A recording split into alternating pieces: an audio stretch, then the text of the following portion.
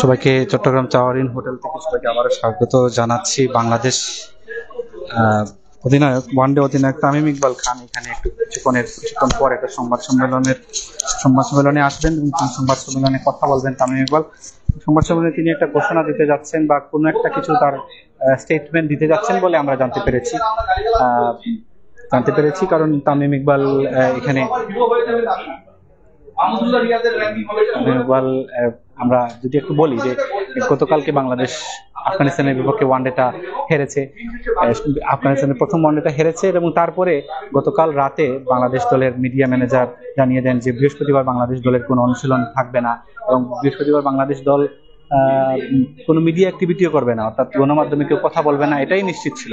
কিন্তু রাত বারোটার দিকে তামিম ইকবাল সাংবাদিকদের সঙ্গে নিজেই ব্যক্তিগতভাবে যোগাযোগ করে জানান যে তিনি একটা ব্যক্তিগত উদ্যোগে একটা সংবাদ সম্মেলন আয়োজন করছেন এবং সেই সংবাদ সম্মেলনে তিনি কি বলবেন সেটা তিনি জানাননি, কিন্তু অনেক স্পেকুলেশন হচ্ছে, অনেক গুঞ্জন চলছে, কারণ প্রেক্ষিতের কারণে। প্রেক্ষিতের কারণে আপনারা যদি এবার দেখেন, এখানে এখানে এখানে একটা সংবাদ সম্মেলন হবে, তিনটা চেয়ার রাখা হয়েছে, এবং গণমাধ্যম কর্মীরা সবাই কিন্তু উপস্থিত হয়েছেন।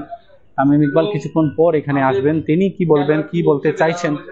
তিনি নেহাত তিনি বড় কোনো ঘোষণা দিতে যাচ্ছেন নাকি তার কোনো ব্যাখ্যা দিতে যাচ্ছেন? নাকি নেহাত সাধারণ কোনো বিষয়ে কথা বলবেন? তবে নেহাত সাধারণ কোনো বিষয় হওয়ার সম্ভাবনা কম কারণ ঘটনা প্রবাহ যদি আমরা একটু বলি ঘটনা প্রবাহ যেটা যেটা হচ্ছে বাংলাদেশ বাংলাদেশের ক্রিকেটে গত কদিন ধরেই তামিম ইকবালের ইনজুরি নিয়ে একটা কনসার্ন চলছিল যে ইনজুরি তামিম ইকবাল আফগানিস্তানের বিপক্ষে একমাত্র টেস্টটা ইনজুরির কারণে খেলতে পারেননি এবং তার শেষ মুহূর্তে তিনি স্কোয়াডে ছিলেন, কিন্তু কিন্তু তিনি ইনজুরির কারণে শেষ মুহূর্তে তাকে স্কোয়াড থেকে বাদ দিতে হয় এবং সোল্ড আউট হন তার পিঠের একটা চোট ছিল, যেটা ব্যাক পেইন বলা হচ্ছিল। সেই ব্যাক পেইনের কারণে যদিও স্ক্যান রিপোর্টে তার কিছু আসছিল না, কিন্তু তার একটা ব্যাক পেইনের কারণে তিনি আসলে খেলতে পারে, খেলতে পারেন বিশেষ মুহূর্তে ছিটকে পড়েছিলেন। ওয়ান ডেটা তিনি খেলবেন কিনা, এই বিষয়ে একটু সংশয় তৈরি হয়েছিল। যদি তিনি অনুশীলনে পুরোদমে ফিরেছিলেন, ঈদের পর এখানে চট্টগ্রামে তিনি অনুশীলন শুরু করেন এবং এখানে চন্ডিকা হাজরা সিং এ বাংলাদেশের প্রধান কোচ তিনি এসে একজন সংবাদ জানান যে আমি এখানে দুই দিন অনুশীলন করেছেন।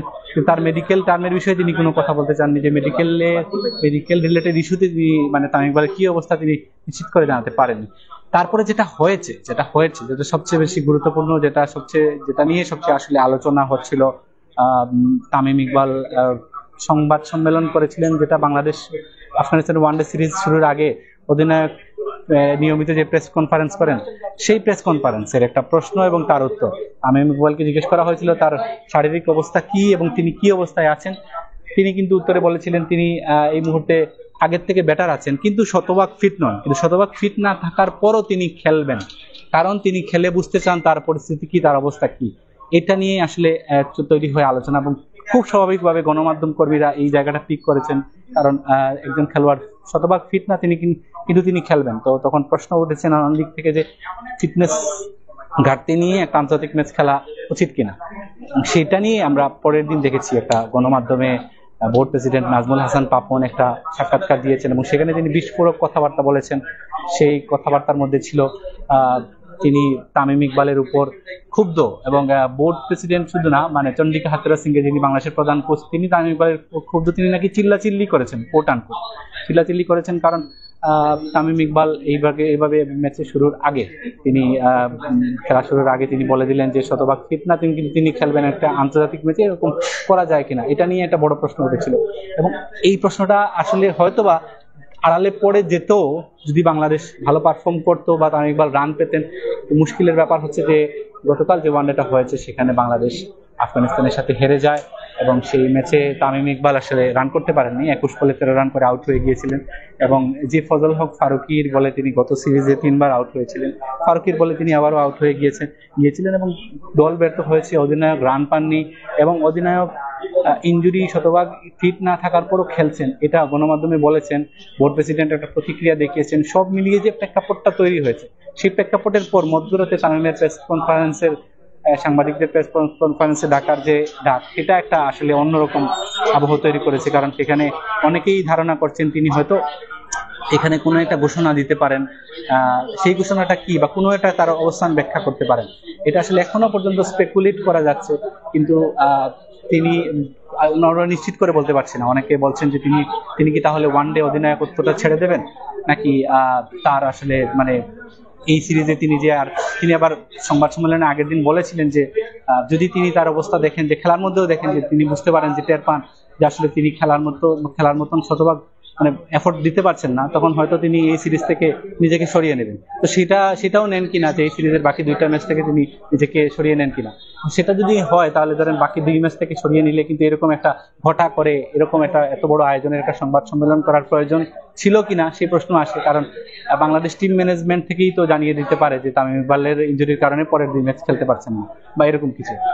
কাজেই এখানে হয়তো বা অনেক আরও তামিম ইকবাল তার নিজের একটা অবস্থান ব্যাখ্যা করে একটা কিছু বলতে যাচ্ছেন। কারণ তার টি টোয়েন্টির অবসর বা টি টোয়েন্টির অবসর ঘোষণা এবং টি টোয়েন্টি না খেলাও কিন্তু অনেক নাটকীয়তার মধ্য দিয়ে গিয়েছে।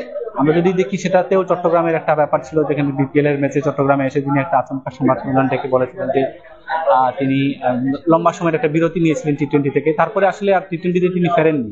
একটা পরে ফেসবুকে একটা পোস্ট দিয়ে তিনি অবসরের ঘোষণাই দেন। কাজী এটা নিয়ে সাধারণ মানুষের যে আগ্রহ এবং গুঞ্জন, কারণ তামিম ইকবাল হয়তো খেলা ছেড়ে দিতে পারেন বা ওয়ান ডে অধিনায়কত্ব ছেড়ে দিতে পারেন, এরকম যে তারা ধারণা করছেন সেটা ঠিক অমূলকও এখনও পর্যন্ত বলা যাচ্ছে না, এরকম কোনো ঘোষণা আসলেও আসতে পারে। কিন্তু যে ঘটনার প্রেক্ষিতে বাংলাদেশ ক্রিকেট বোর্ডের সঙ্গে আমরা যোগাযোগ করেছিলাম, তামিম ইকবাল এখানে একটা সংবাদ সম্মেলনের আয়োজন করেছেন, আমাদেরকে গণমাধ্যমকে জানিয়েছেন, সেই সংবাদ সম্মেলনে কি হতে যাচ্ছে সেটা কিন্তু বাংলাদেশ ক্রিকেট বোর্ডের কেউই কিন্তু বলতে পারেননি। কারণ বাংলাদেশ ক্রিকেট বোর্ডের পক্ষ থেকে বলা হচ্ছে, এটা আসলে তারা কোনো সংবাদ সম্মেলন আয়োজন করেননি এবং তারা এই ব্যাপারে অবগত না। এবং তামিম ইকবালের সঙ্গেও তাদের যোগাযোগ হচ্ছিল না বলে কয়েকজন আমাদেরকে বলছিলেন যে আসলে তামিম ইকবালের তামিম ইকবাল আজকে সকাল থেকে কারও ফোন ধরেননি। তিনি হয়তো কোনো একটা সিদ্ধান্তে অটল আছেন, সেটা এখানে এসে জানিয়ে দেবেন সেই সিদ্ধান্তটা। সেটাতে তিনি নড়বেন না, হয়তো এই জন্যই কারও ফোন ধরছেন না, এরকম মনে করা হচ্ছে। এখন সেটা কি হয় সেটা নিয়ে আসলে স্পেকুলেট কারণ বিশ্বকাপের কিন্তু আর খুব বেশি দিন বাকি নেই। এবং বিশ্বকাপ কেন্দ্র করে এই সিরিজটা কিন্তু বিশ্বকাপ কেন্দ্র করে বাংলাদেশ খেলবে বলে আগে থেকেই জানিয়েছিল যেহেতু এটা কোনো ওয়ানডে সুপার লিগ বা কোনো অন্য কোনো প্রতিযোগিতার ম্যাচ না সিরিজ না, এখানে জাস্ট একটা দ্বিপাক্ষিক সিরিজ এই সিরিজটাতে মূলত বাংলাদেশ বিশ্বকাপের জন্য প্রস্তুতি নেবে। বিশ্বকাপে বাংলাদেশ বাংলাদেশ কেমন মানে কেমন দল নিয়ে যেতে চায়, কি স্কোয়াড নিয়ে যেতে চায় এবং এমনকি একাদশের সমন্বয়টা কি হয়, এসব কিছু দেখতে যাচ্ছিল এবং তামিম নিজেও সেটা জানিয়েছিলেন যে যারা ব্যাকআপ ব্যাটসম্যান আছেন, যারা ব্যাকআপ বোলার আছেন, সবাইকে এই সিরিজে বাজিয়ে দেখা হবে। অর্থাৎ সবাইকে অন্তত একটা করে সুযোগ দিয়ে দেখা হবে তারা কেমন করেন, তাহলে বিশ্বকাপের স্কোয়াড বানাতে তাদের। অর্থাৎ বিশ্বকাপ কেন্দ্র করে একটা সিরিজ সেই সিরিজের বিশ্বকাপের আর বাকি মাত্র তিন মাস, সেই তিন মাসের মাথায় আসলে কি এমন ঘটলো যেখানে তামিম ইকবাল কোনো একটা কিছু বলতে যাচ্ছেন, সেটা বাংলাদেশের ক্রিকেটে কতটা প্রভাব পড়ে, সেই বিষয়টা আসলে এখানে জানা অনেক বেশি জরুরি আমার মনে হয়। আমরা এখানে অনেক গণমাধ্যম কর্মী আছেন তাদের সঙ্গে, কারও কারোর সঙ্গে আমরা যদি একটু কথা বলার চেষ্টা করি, এখানে যমুনা টেলিভিশনের সিনিয়র রিপোর্টার আছেন তামিদ অমিত অমিত ভাই আপনি তো কালকেই জানলেন, তামিম এখানে একটা সংবাদ সম্মেলনের আয়োজন করেছেন। এবং নানান ঘটনা প্রভাব হচ্ছে। আপনার কাছে কি মনে হচ্ছে যে আসলে এটা কি মানে একটু আনইউজুয়াল কিনা? মানে এটা তো অবশ্যই রাখে। একটা একটা একটা বেসরকারি হোটেল, সেই জায়গাটা তামিম টিম হোটেলে থাকেন আপনি জানেন যে চাইলেই টিমের ব্যাপারে এন্ট্রি করাপশন ইউনিটের বিষয় থাকে। চাইলেই কিন্তু সিরিজের মাঝখানে আপনি বাইরে কোথাও যেতে পারেন না, কথা বলতেন না, বাইরের লোকের অনেক রেস্ট্রিকশন থাকে। সেই রেস্ট্রিকশনের বাইরে এসে তামিম একটি প্রেস কনফারেন্স করবে। এবং যতটুকু জানি আমি নিশ্চিত করছি যে বিসিবির কেউ বড় কর্তারা এই সংবাদ মানুষ সম্বন্ধে জানেন। তাহলে তিনি, তাহলে কি এখন টিম হোটেলে আছেন? টিম হোটেলে থাকবে, থাকলে কিন্তু তার সাথে কথা বলার কথা হোটেল সম্ভবত তাকে টিম হোটেলে পাওয়া যাচ্ছে না। কালকে রাত থেকেও চেষ্টা করেছে সমস্ত ক্রিকেট বোর্ড কর্তারা তার সাথে যোগাযোগ করবার জন্য। তার সেলফোন বন্ধ আছে, তারা, তাদের দাবি আর কি, বোর্ডে তার সাথে যোগাযোগ করতে পারেন। বিষয়গুলো খুবই অ্যালার্মিং এই জায়গাটা তার সাথে কোনো যোগাযোগ করা যাচ্ছে না টিমে নাই টিমের রুমে খুঁজে পাওয়া যাচ্ছে না। যদি আমি খুঁজিনি এটা বলছি যে আমি করে পাইনি ব্যাপারটা আমরা যে জাস্ট শোনা এই সবকিছু একটা বড় কিছুর ইঙ্গিত দেয়। তামিম তাহলে যে সিদ্ধান্তটা নিয়েছেন সেটা আবেগের বশই হোক যা তিনি আজকে ঘোষণা করতে চান সেটা বোধহয় তিনি নিয়ে ফেলেছেন আমার যেটা মনে হচ্ছে। হয় তিনি কোনো ঘোষণা করতে যাচ্ছেন নাকি নিজের কোনো অবস্থান ব্যাখ্যা করবেন অবস্থান ব্যাখ্যা যতটুকু আমি জানতে পেরেছি তিনি একটা স্টেটমেন্ট পড়বেন। সম্ভবত তিনি প্রশ্ন নাও নিতে পারেন এখানে। নাও হতে পারে। স্টেটমেন্ট পড়বেন যদি সেটা হয়ে থাকে, যদি একটা স্টেটমেন্ট পড়ে থাকে, বলেন, তাহলে কিন্তু ব্যাপারটা ডিসিশন বুঝাতে পেরেছি আপনাকে? তাহলে কিন্তু মানে ব্যাখ্যা হলো না। ব্যাখ্যা হলো প্রশ্নের উত্তরে যখন দিবেন, তাহলে নিজের অবস্থান ব্যাখ্যা করতে আসা হতে পারে। সেটা না হয় যদি স্টেটমেন্ট হয়, তাহলে কিন্তু একটু আমাদের জন্য মনে হচ্ছে ব্যাপারটা ভালো দিকে যাচ্ছে না। একটু মনে হচ্ছে এইভাবে। তো বাইরের দেশের কালচার হচ্ছে যে এইসব ক্ষেত্রে মানে স্পোর্টসম্যানরা কোনো অসন্তুষ্টি বা কোনো ঘটনা, কোনো সিদ্ধান্ত জানিয়ে, সে টুইটারে জানিয়ে দেন কোনো মেইল করে জানিয়ে দেন আর প্ল্যাটফর্ম গুলোতে জানিয়ে দেয় সেখান থেকে আমরা জানি। এই সমবায় সম্মেলন অনেকটা অন্যরকম লাগে হ্যাঁ কিন্তু এখন তামিম কি বাংলাদেশের কালচারের বাইরে?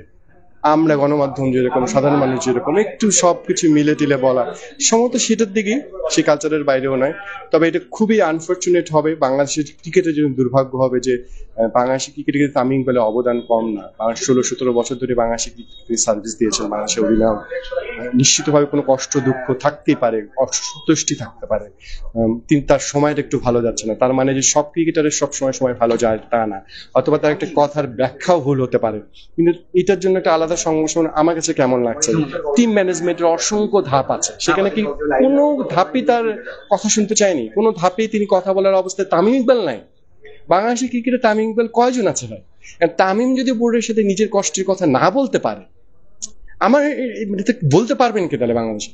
সেটা যত বড় ঘটনাই হোক না কেন, তার জানার কথা না টিম ম্যানেজমেন্টের জানার কথা, সেটা যত বড় কোচই হোক, তামিম ইকবাল বাংলাদেশের কোচের থেকে অনেক বড়। এটা আমি বিলিভ করি। তামিম ইকবাল তো ফিগার একটা না, বাংলাদেশে।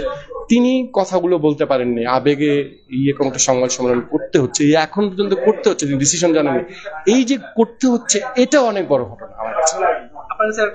মানে বিশ্বকাপের বিশ্বকাপের বছর আর তিন মাস আছে বিশ্বকাপের। বিশ্বকাপের বছরে এরকম একটা ঘটনা আসলে মানে যে কোনো ঘটনা, আমরা জানি না তামিম কি বলবেন বাট একটা আনইউজুয়াল লাগছে। সেটা কি মানে খুব সুখকর কিনা বাংলাদেশ দলে? অবশ্যই ভালো না। পৃথিবীর অন্য দেশের হলে আমরা তো এতক্ষণ অনেকগুলো রিপোর্ট করে ফেলতাম যে দেখেন ক্যাপ্টেন রোহিত শর্মা যদি ঘটনা ঘটাতেন তাহলে আমরা কি করতাম? সেটা আমাদের ক্রিকেটে তো আবেগটা আরও অনেক বেশি যদি বলেন। আমি তো অনেক সময় বলি, মাঠের ক্রিকেট থেকে বাইরের আবেগ আমাদের অনেক বেশি। সেখানে তো অনেক বড় নানা আপনি চাইলে এটা থেকে এই বিষয় নিয়ে দেখা গেল কথা হবে। এটাই বাংলাদেশে বিশ্বকাপ হয়ে যাবে। আমরা আসলে তো মাঠে অনেক কিছু জিতেছি, তা না? একটা ট্রাই ট্রাইনেশন সারা ওই আয়ারল্যান্ডের সাথে। এর বাইরে আসলে মাঠের ক্রিকেটের বাইরে যে সমস্ত ঘটনা থাকে, সেটাই আসলে বাংলাদেশ ক্রিকেটকে অনেকদিন বাঁচিয়ে দেয় হম, সম্ভবত বিশ্বকাপেও যে আমরা অনেক কিছু করে ফেলব, আমি এটা অনেক বেশি বড় স্বপ্ন দেখতে চাই না। খুব বাস্তব অবস্থা থাকে। কিন্তু এই যে বাংলাদেশে তামিম ইকবাল আজকে কথা বলবে জানি না কি ডিসিশন দেবে। এরকম কোনো যদি ডিসিশন হয়ে থাকে, এটাই বাংলাদেশের বিশ্বকাপ হয়ে এটা নিয়ে থাকতে পারব আমরা গণমাধ্যমে আরও চার, পাঁচ মাস, ছয় মাস থাকা যাবে। আসলে মাঠের ক্রিকেটে যদি ফোকাসটা থাকতো, আমার মনে হয় না এরকম থাকতো। আমাদের যে চারদিকে নানা রকম অপেশাদারিত্ব কাজ করে, সমস্ত স্টেক হোল্ডারে সমস্ত সেটা থাকে। থ্যাংক ইউ তামিদ ভাই। তামিদ ভাইয়ের কথা শুনছিলাম আমরা। আসলে এখানে এই মুহূর্তে আর বেশি কিছু বলার নেই, কারণ আমরা অপেক্ষাই করতে পারি। অপেক্ষা করা ছাড়া কোনো উপায় নেই, কারণ তামিম ইকবাল আসবেন সংবাদ সম্মেলন করবেন। তারপরে আসলে জানা যাবে তিনি আসলে কি বলতে চাচ্ছেন, কি সিদ্ধান্ত নিতে যাচ্ছেন বা কি করতে যাচ্ছেন।